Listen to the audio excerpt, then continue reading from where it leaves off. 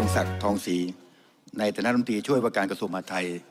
สำหรับชุมชนเมืองกาญจนบุรีในเขตเทศบาลเมืองกาญจนบุรีนั้นเนี่ยมันจะเป็นเทศบาลตำบลท่ามะขาม เทศบาลเมืองปากแพรกอำเภอเมืองกาญจนบุรี และเทศบาลตำบล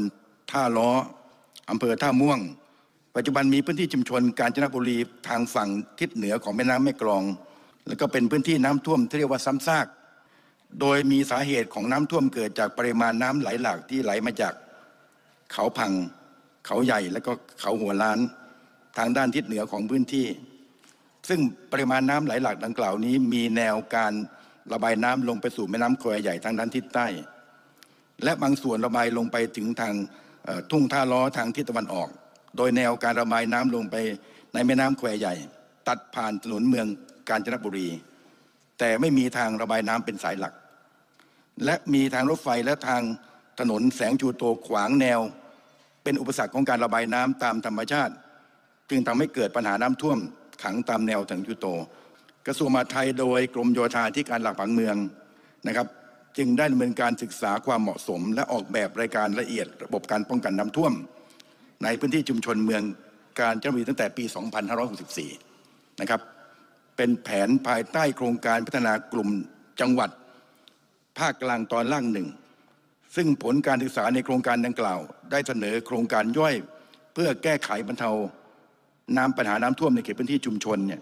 เมืองกาญจนบุรีอย่างเป็นระบบ กระทรวงมหาดไทยเอง โดยกรมโยธาธิการหลักผังเมืองนะครับ มีการจัดสรรงบประมาณในการแก้ไขปัญหาน้ำท่วมนะครับ ทั่วประเทศนะครับ ซึ่งหากมีหน่วยงานที่เกี่ยวข้อง มีงบประมาณไม่เพียงพอ อันนี้ก็สามารถที่จะของ รับการสนับสนุนงบประมาณได้นะครับ โดยส่งรายละเอียดและข้อปัญหาต่างๆ ทางผ่านผู้นำองค์กรกองท้องถิ่นนี่หมายความว่าพื้นที่ของการปัญหานี้ส่วนใหญ่จะอยู่ในเขตของที่ของอปทนะครับกรมโยธาธิการและผังเมืองเองเนี่ยจะดำเนินการอย่างไรนั้นนะครับ ต้องมีคำขอจากพื้นที่นะครับในการที่จะให้เขาใช้พื้นที่ในการที่จะดำเนินการในการโครงการเรื่องการแก้ไขปัญหาน้ำท่วม ในพื้นที่ตามโครงการที่เคยมีการศึกษาไว้ โครงการสามโครงการนะครับที่เป็นโครงการที่คิดว่าจะเป็นโครงการที่จะสามารถที่จะดำเนินการได้ แล้วก็สามารถที่จะบรรเทาเรื่องความเดือดร้อนเรื่องปัญหาน้ำท่วมได้นะครับเราได้มีการตั้งงบประมาณไว้เบื้องต้นนะครับเอ่อในปี 2567 ก็คืองบประมาณที่เรากำลังจะพิจารณาอยู่ในขณะนี้นะครับ โครงการพัฒนาพื้นที่ชุมชนตามผังเมืองรวมของเมืองกาญจนบุรี อำเภอเมืองกาญจนบุรี จังหวัดกาญจนบุรีนะครับในวงเงินประมาณ 200 ล้านบาท เป็นการก่อสร้างองค์ประกอบโครงการที่มีความจำเป็นเร่งด่วนบางส่วนของโครงการตามที่มีการศึกษา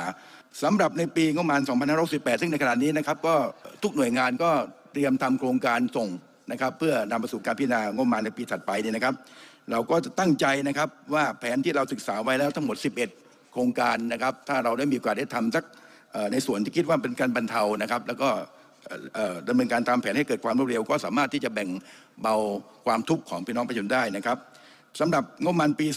2568 ในวงเงินงบประมาณ 265 ล้านบาทเศษ